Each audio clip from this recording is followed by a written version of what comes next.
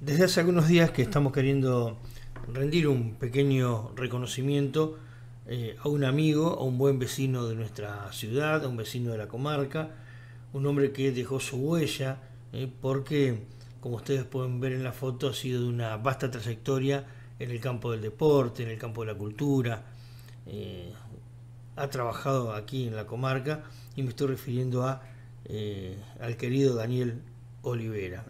En principio le agradezco a su hermano Marcelo que me proveyó de este material fotográfico para compartir con ustedes. ¿eh? allí lo ven eh, con el básquet. Eh, también lo van a poder reconocer con su nieto Francisco, con Guadalupe, una de sus hijas. Por supuesto con otros familiares como con Sofía, su hija menor con, en tiempo que estaba embarazada. Recordemos que además Daniel, junto a las voces del Curulubú, eh, participó del Pre-Cosquín en Bahía Blanca, eh, donde pasaron y estuvieron participando en Cosquín puntualmente.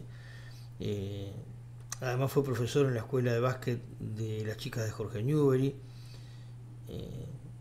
ha estado en esta en una foto lo vemos con los padres de un abogado, porque además es un hombre de la música, un hombre de la guitarra, como es el doctor Jorge Bustamante, y también, por supuesto, con sus padres. ¿eh? Eh, Daniel Olivera, un reconocidísimo vecino que dejó huella, que marcó un camino.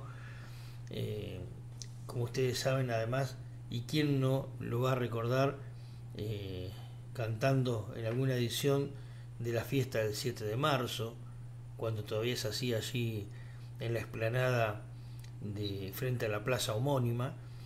Y por supuesto, en estos tiempos eh, lo veíamos habitualmente en un lugar de otro querido amigo, como es el kiosco Tibu de Huguito Cairolo.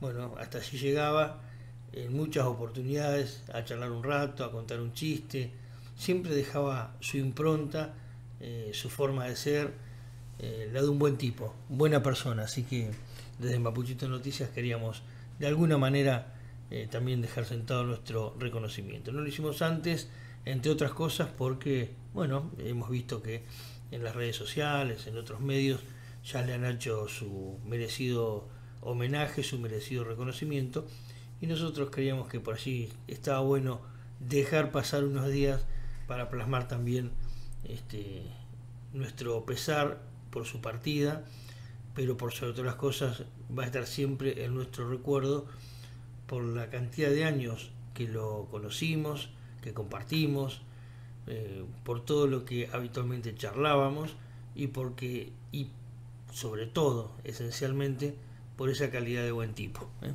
Este, a partir de un hombre de la cultura, del deporte, un vecino de la comarca que dejó huella.